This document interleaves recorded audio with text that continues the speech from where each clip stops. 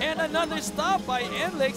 They're just starting this run, third quarter, with so much adrenaline. And whoever's starting on the share with that Euro step. Look at that entire Enlex bench. Ginagaya yung pag-sidestep ni Larry Legend. Pwedeng Larry Legend ha. At kinakausapan niya. Si Alex Eto si Alex Malyari.